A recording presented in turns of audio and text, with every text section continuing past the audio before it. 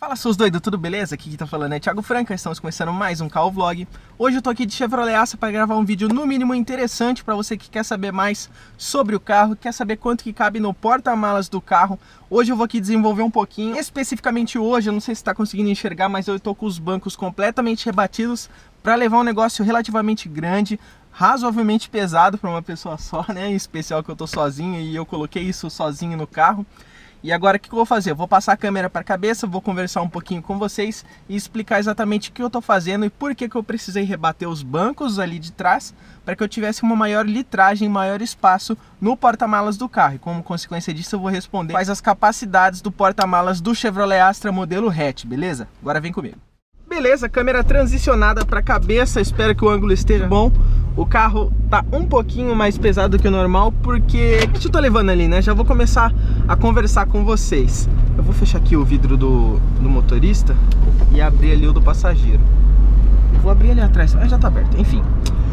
Estou levando agora uma pia de mármore enorme que estava parada lá em casa. Eu havia pegado para efetuar a troca de uma minha, só que acabei adquirindo uma nova recentemente. Para desfazer dessa daí, tô indo levar lá no ecoponto da minha cidade. Só que aí um grandíssimo problema é que assim, a pia de mármore, ela é bem grande. Deixa eu tentar... Não, não vou tentar virar não. Deixa eu andar só mais um pouquinho. Aí eu paro ali e consigo olhar para trás sem grandes problemas, né? Deixa eu dar uma seta, ó, ela tá dando uma deslizadinha porque eu não segurei nada ela ali, ela tá meio que solta.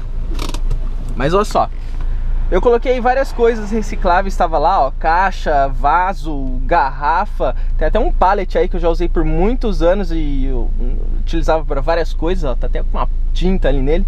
Mas essa aqui é a pia de mármore que ela é grande, ó, ela é grandona de assim. E ela também é bem pesada, né? Tipo, tenta levantar disso aqui sozinho que você vai entender o que eu tô falando.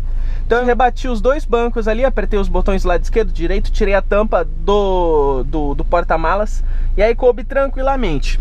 Então agora eu tô fazendo esse teste, né? Eu nunca precisei fazer esse rebatimento dos bancos para ter um espaço maior no Chevrolet Astra, já fiz no Peugeot, porque o, eu tenho um Peugeot 206 em casa, não sei se você caiu nesse vídeo de paraquedas, grandes são as chances de você ter caído nesse vídeo para saber mais sobre o carro mesmo. E assim, eu tenho um Peugeotzinho em casa, que o porta-mala deles, o porta-mala dele é muito pequeno, é, acho que é 245 litros. E assim, como eu fui pai, assim, tal, tive um filho e depois tive dois, cara, quando eu tive minha segunda neném, foi meio que a decisão para que falasse assim, não, não vai dar mais para ter um Peugeotzinho em casa, entendeu? A gente precisa de um carro que tenha um porta-malas maior, porque uma vez que a gente precisou ir pra praia mesmo, quando o meu filho era bem mais novinho e a gente precisou levar bastante coisa, foi complicado, porque assim, não cabe, não, não tem muito espaço líquido, vamos dizer assim, né? Pra caber bastante coisa, dependendo do... que nem a gente levou uma banheira no Peugeot, e a banheira ocupou, tipo, muito espaço, mesmo assim, é, tentando otimizar ao máximo. E como a gente estava levando ele na cadeirinha tal, levando bastante coisa, não tinha como simplesmente rebater os bancos. Então assim, até cabe é, bastante coisa no Peugeot 206 se você souber utilizar o espaço. E aí a gente acabou evoluindo bastante. Nossa, que moça boba. Só não vou correr atrás dela porque é muito afim. Mas assim, depois que a gente adquiriu o Astra, o Astra na real ele tem tipo na sua forma tradicional, vamos dizer assim, de porta-malas, cabe 370 litros. Isso é muito mais que 245. Eu vou até colocar aí uma porcentagem que eu não vou fazer agora de cabeça, porque eu não estou com cabeça para isso. A moça vai passar no vermelho, né? Não, não vai. Vacilona, passou acelerando, tá brava só porque eu tava ali na faixa. Enfim, 370, vou colocar aí mais ou menos de quanto que evoluiu de, de 245 para 370. Eu vou fazer uma conta rápida aqui, aproveitar que eu tô, tô parado no semáforo, ó. É, 240, é, 370 370 vezes 100 dividido por 245 é 51% a mais, cara. Eu já tava chutando mais ou menos na minha cabeça que era 50% mesmo maior. Então foi uma evolução de 50% de litragem e agora com os bancos rebatidos a litragem chega até 1180 litros do porta-malas do Chevrolet Astra modelo hatch, tá? Eu não vou falar exatamente do modelo sedã, porque deve ter uma diferença aí bacana por conta da, da traseira do carro, né? Que proporciona uma maior litragem. Mas do Chevrolet Astra hatch 370 na capacidade comum e até 1180 com os bancos completamente rebatidos. Eu vi que parece que tem duas, dois tipos de rebatimento que no rebatimento 1 lá vai até 710, que eu não entendi exatamente como que vai caber 710 litros ali se você rebater, eu não sei, parcialmente os bancos ou enfim. Mas eu sei que do jeito que eu deixei aqui, tá bem rebatido e pode chegar a caber até 1180 litros. Não entendi porque o cara buzinou pra mim.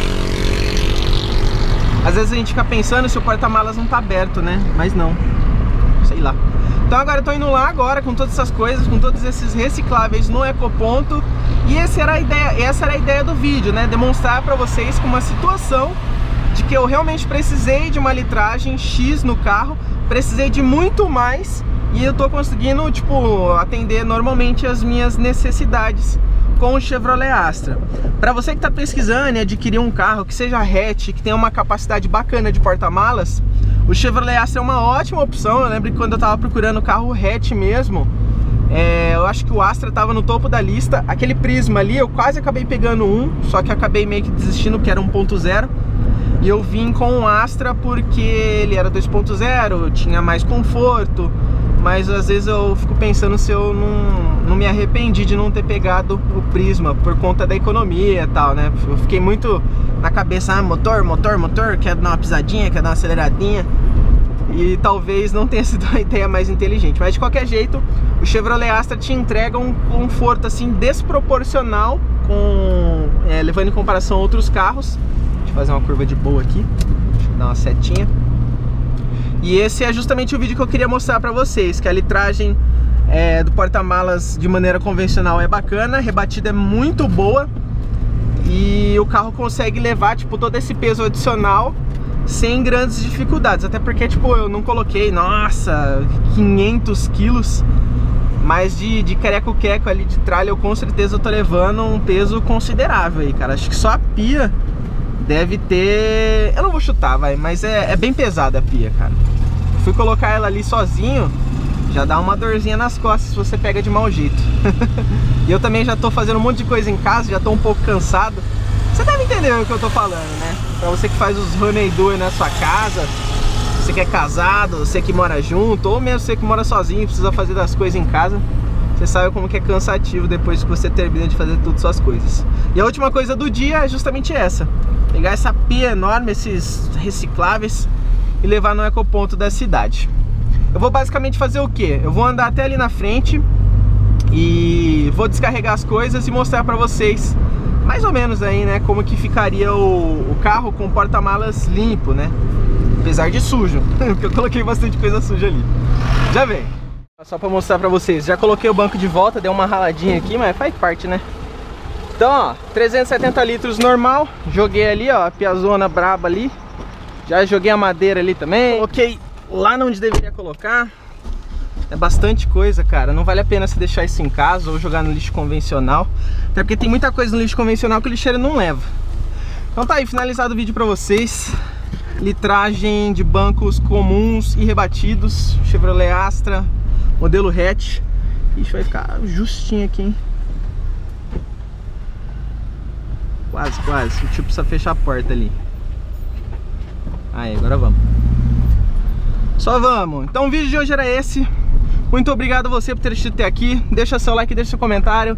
Deixa na seção de comentários o que você achou da litragem do porta-malas do Chevrolet Astra, se você já precisou utilizar de algum outro carro, um comparativo, vai ajudar bastante qualquer tipo de comentário positivo aí no canal para as outras pessoas que vão vir assistir esse vídeo também.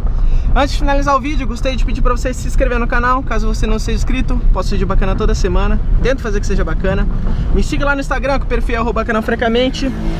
Ah, e se você quiser algum conteúdo específico de Chevrolet Astra, que eu vou começar a produzir mais coisas agora, Deixa aí na seção de comentários também que eu vou fazer o possível para desenvolver conteúdos novos para vocês. Fechou? Então muito obrigado mais uma vez. O Franca vai indo nessa. Valeu, falou, um abraço e tchau, moleque. Tchau.